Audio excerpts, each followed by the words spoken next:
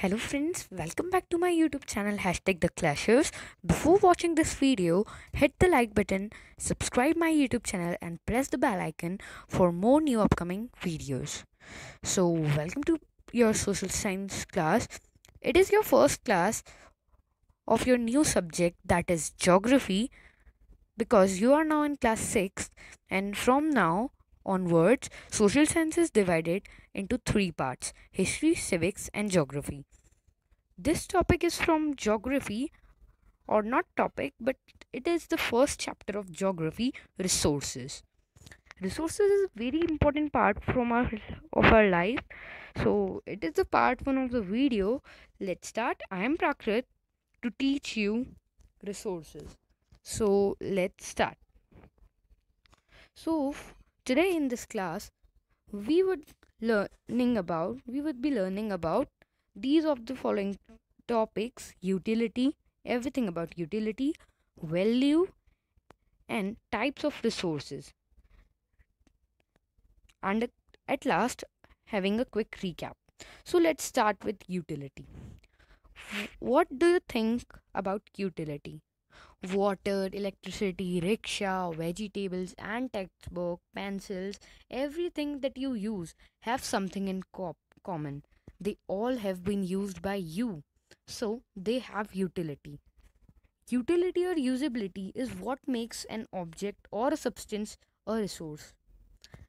Uh, simply, that uh, resource is anything which you use. So, utility is same as resource. Utility is what? That makes an object or substance a resource.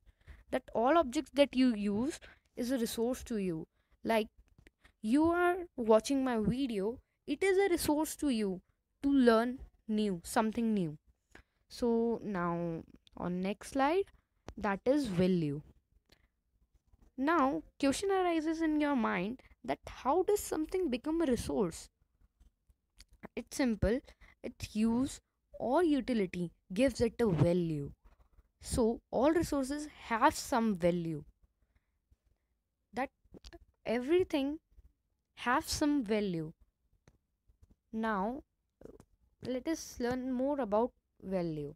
So, value means worth. It because it worth for you.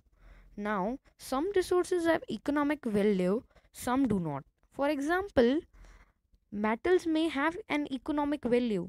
They can be sold on large amount. A beautiful landscape may not. But both are important and satisfying human needs because they are important. Now, next slide. Some resources can become economically economically valuable with time. Like your grandmother's home remedies have no commercial value today, but if these commercial but these uh, remedies are patent and sold by a medical firm tomorrow they could become economically valuable. So this is an example there are many examples. You could get them from google.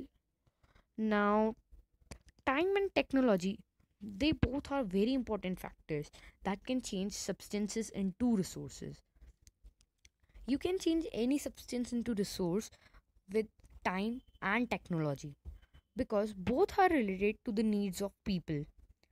Actually, peoples themselves are the most important resource that you are a resource.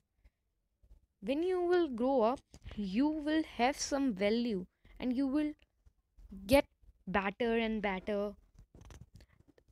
It is their ideas means it is our ideas, knowledge, inventions, and discoveries that lead to the creation of more resources. Each discovery or invention leads to many others. The discovery of fire led to the practice of cooking and other processes, while the invention of wheel ultimately resulted in development of new modes of transport. Now, the to- technology to create hydroelectricity has turned energy in fast flowing water into an important resource. As you all know, hydroelectricity. What is hydroelectricity? Fast flowing of or fast fluency of water gives us this much energy which produces electricity.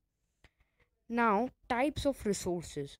There are basically three types of resources, or resources are classified into three types of resources that natural resources, human made resources, and human resources.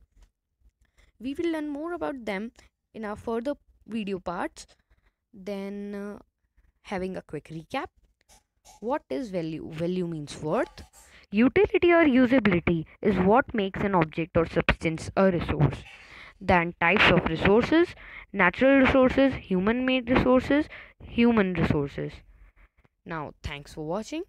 Subscribe my channel here and watch the videos here. Thank you for watching.